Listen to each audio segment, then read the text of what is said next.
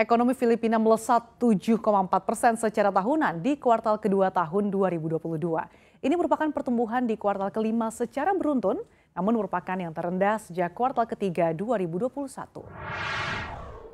Meski terbilang tinggi, namun angka tersebut melambat dibandingkan kuartal pertama tahun 2022 yang mencapai 8,2 persen dan bahkan jauh lebih rendah dari perkiraan konsensus yang mengekspektasikan pertumbuhan 8,6 persen.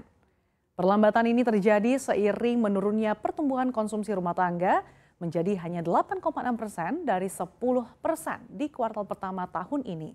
Sebaliknya, investasi dan belanja pemerintah justru pertumbuhannya meningkat, di mana masing-masing jadi 13,2 persen dan 11,1 persen dari sebelumnya 11,8 persen dan 3,6 persen di kuartal pertama tahun ini.